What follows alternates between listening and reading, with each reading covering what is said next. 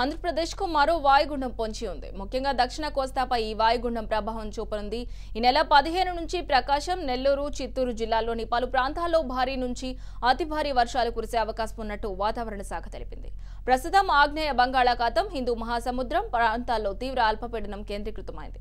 దీంతో పాటు ఐదు పాయింట్ ఎనిమిది కిలోమీటర్ల ఎత్తు వరకు ఉపరితల ఆవర్తనం ఆవరించి ఉండడంతో రాబోయే ఇరవై నాలుగు గంటల్లో అది వాయుగుండంగా మారుతుందని వాతావరణ శాఖ అధికారులు తెలిపారు. వాయుగుండం మరింత తీవ్రంగా మారి ఇరవై నాలుగు గంటల్లో దక్షిణ కోస్తా ఆంధ్ర ఉత్తర తమిళనాడు వైపు ప్రయాణించే అవకాశం ఉందని అంచనా వేస్తున్నారు.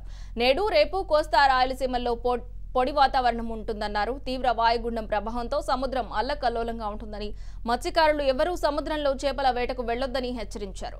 నెల్లూరు జిల్లా దుగ్గరాజపట్నం నుంచి శ్రీకాకుళం జిల్లా బారువా వరకు అలలు మూడు నుంచి ఆరు పాయింట్ ఐదు మీటర్ల వరకు ఎగిసిపడతాయని తెలిపిన వాతావరణ శాఖ తీరం వెంట డెబ్బై కిలోమీటర్ల నుంచి వంద కిలోమీటర్ల వేగంతో గాలులు వీస్తాయని తెలిపారు. వాయుగుండం ముప్పు పొంచి ఉండడంతో కోస్తా జిల్లా కలెక్టర్లను సీఎం చంద్రబాబు అప్రమత్తం చేశారు.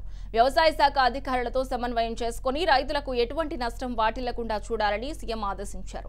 అదేవిధంగా మత్స్యకారులకు ఎప్పటికప్పుడు సమాచారం చేరవేస్తూ అప్రమత్తం చేయాలని సూచించారు.